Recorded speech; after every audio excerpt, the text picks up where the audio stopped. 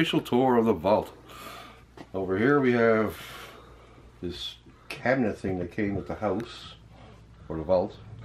Uh, stuff full of mangas that I couldn't sell over the years, I guess. So that'll probably be there for the rest of my life. Good times. And over here, all these boxes are filled with pops. There's 36 in each one. This is about half of what I got. There's another half upstairs. So it's well over a thousand pops. In this book is a list of most of them. See how, like box 15, there's a piece of paper that corresponds. It says box 15 and tells you every single pop that's in box 15. Yeah, that was a lot of work. Over here is our, well, that's my washer and dryer. It's not for sale. here are the board games that we have extras of. There's a lot of stuff. And over here are figures and statues and whatnot. And uh, came out of the shop because it's just sitting there collecting dust. And always something new coming in. Here's where Chris is working on the sortings. Don't mind the ashtray. Smoke is bad, kids. I know.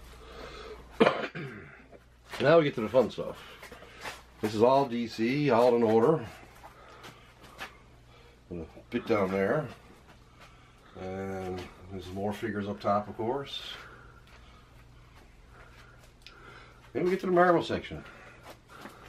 All Marvel. All in order. A to Z. Quite a lot of Marvel. More figures, of course. Lots and lots of figures and stuff. And over here, this is where it gets a bit tangly. Because this goes right to the floor too, by the way. This is all the independents. Your image, your Valiants, your dark horse, your whatevers. Not in order. Maybe one day it'll get in order. Months just working on DC and Marvel. This is the last of what has to be organized into the boxes there. Then we might actually get people to come over and have a look. If everyone is selected few. Here are, are trades that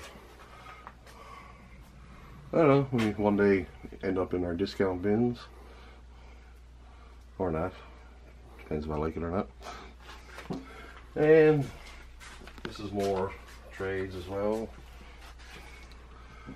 These are boxes he's working on. These are comics that are not Marvel DC.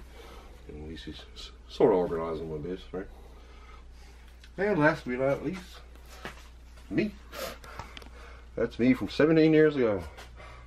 When I still had a glimmer of hope in my. Look at that smile. That's from the first free comic book day in 2002. Yep, made the cover and everything. Maybe one day I'll read the article. uh, won't be tonight though. Alright, there you go. That's a 10 cent tour of the basement, I guess, of the vault. And, uh, alright, welcome to another episode of The Vault, where me and Steve sit at the round table and we talk about the most important thing in life comic books. All right. All right, Steve. All This- right. This week's topic is some of your favorite scores.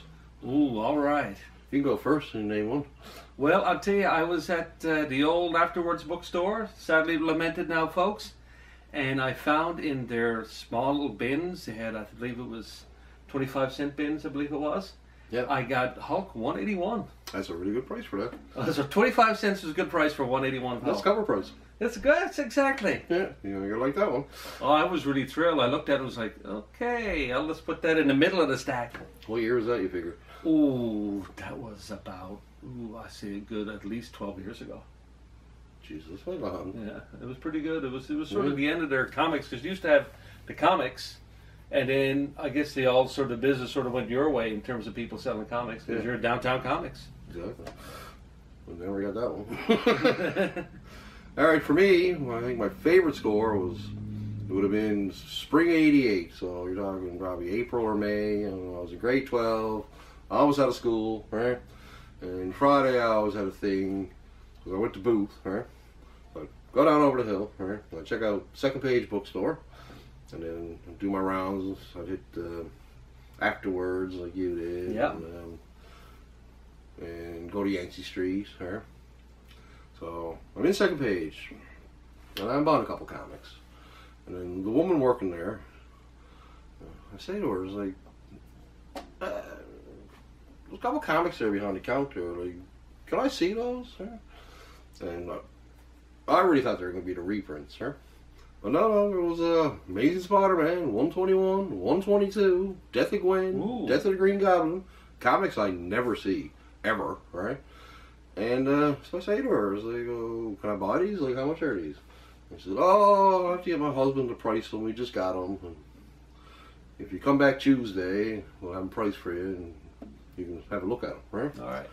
Let me tell you, folks, three o'clock Tuesday after school, it was like beeline down down over the hill. Couldn't go down quick enough, right? And um, shows me two comics, and they were in nice shape. We're talking like 6.5, 7, right? maybe even 7.5, you know. They're, they're decent, decent looking books, right? No tears, no writing, none of that, right? And it was like, look at the price, it was $8 each. I was like, yeah. Whoa. And then she says, "Oh, and by the way, this week we have twenty five percent off." I'm like, "Are you kidding me? Six dollars each?"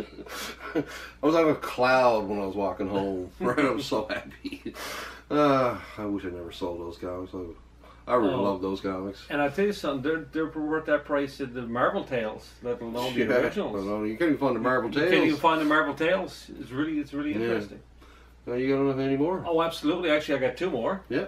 Uh, one was I remember getting. Uh, well, I had in my hands uh, Conan the Barbarian number one when I was at the Escape Hatch. Yeah.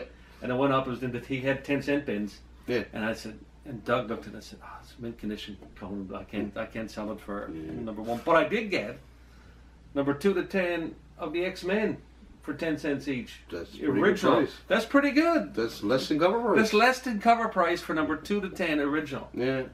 Yeah, you won't see those prices anymore. Not unless you're going to uh, back in time. Yeah, yeah. Or someone's completely crazy. Well, All comics for a dime. what do you got? Woo! Oh, yeah, yeah, there's some pretty good stuff. All right, for me, it's not like a super score, but it really changed my view of comics. Because I always had this thing, I go to afterwords, and they always had their comics for a quarter each, right? Yeah. You know, it's like, if I saw, I don't know who it was, I think s- there was one random person who was just going there all the time and just, I guess they bought their comics, and then once they read them, they just dumped them down afterwards, right? So if I saw something in good shape, you know, I was like, oh, I'll buy it, right? So it's I went down there about a, just a bunch of there was a whole bunch of swamp things there, right? And uh, I was reading them, reading them, and then I get to issue twenty, right? Actually, it wasn't so much twenty because that was sort of the end of a story arc, right? Even though it was first Alan Moore story, right? But I had twenty-one to twenty-nine. I remember I was sitting in the basement. And I was like going through. I was like, these are incredible. Like it was so different from the comics I had been reading, right? It was just like a new level, yeah, right? no capes. And it was just so good. And of course, guess who started collecting Swamp Thing after that? This guy, right? But yeah, it was such a good score. And sure enough, like three, four months later, they were like the hottest books, you know, in the country, right? You know, you wouldn't even find them for under twenty dollars, right? So I thought that was an excellent score, right? And you got another one? Yeah, I got one more. I t- actually, it's it's a homage, really. Yeah. Uh, when I was a little boy, and I don't know how many of the old timers here are watching our show, but uh, do you remember a, a little store called John D. Snow's? Yeah, it's before my time. Like I only went when my parents took me at that age, and we didn't go to John D. Snow's. John D. Snow's was across from uh, City Hall Yeah. downtown, and uh, they had a the man there in the back and uh, behind the counter, and he would have a stack of comics. Yeah. and they're in rubber bands, yeah, yeah, and they were selling them for ten cents each. Yeah. But the trick was is that he always had more stacks behind, Yeah. but he would never ever put pick up another stack until every single one of that first stack was gone. You're smart, see? And That's what I should do. be that's what you should do. So be you're not you're not getting that spawn number three hundred until number two ninety nine goes. Yeah. So I remember going down my my bro- two my two of my brothers and Peter Collins and we'd go down and we'd be like, okay, we know that there's gold right behind them. We Yeah. just got to get rid of. You know, Haunted Tank and Sergeant Rocco. Yeah, Someone's yeah. got to buy these in order to get to the gold, right? Yeah, yeah. And uh, so we all pooled our money to get the good stuff. Oh, nice. And it was absolutely wonderful. John D. Snow's was uh, an institution for so many years in, in our fair city. And uh, when it went, it, we took a took a piece of Newfoundland history with it. Oh, a lot of people remember that place. I've never been there, unfortunately. My first comic shop was the Escape Hatch, Escape Hatch was wonderful. which and I would love to go back in time to visit, revisit. Believe me. Doug was on the wall. Oh yes, I'll take two of each. now I can finally afford these comics. Thousand bucks for Spider-Man number one, sold. Done and done. Sold and sold. Right? Oh, what was that? Two hundred dollars for uh, FF number five for Doctor Doom. Sold. God, yeah, every book you can imagine. He had every book, and there was always a story he told me that there was a guy in St. John's that he could never sell anything to because he already had everything. Yeah. I never did find out who that person was, but Doug said, I have all these comics, but this other fella, he's got everything. I never found out who it was. So like a mythical It's a- collection that's in the city somewhere. Absolutely, and if this man died and left all his comics in his attic, what a score that would be. Well, he must be old now. He's got to be old. I'm not old yet. Not yet. Fingers crossed. I'd love to see this. Stay open, stay open.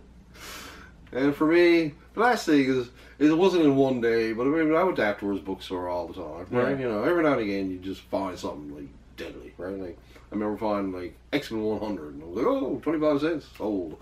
All right, X Men 110, same thing, quarter, right? And uh, I think one of my favorites was uh, the Punisher miniseries number one.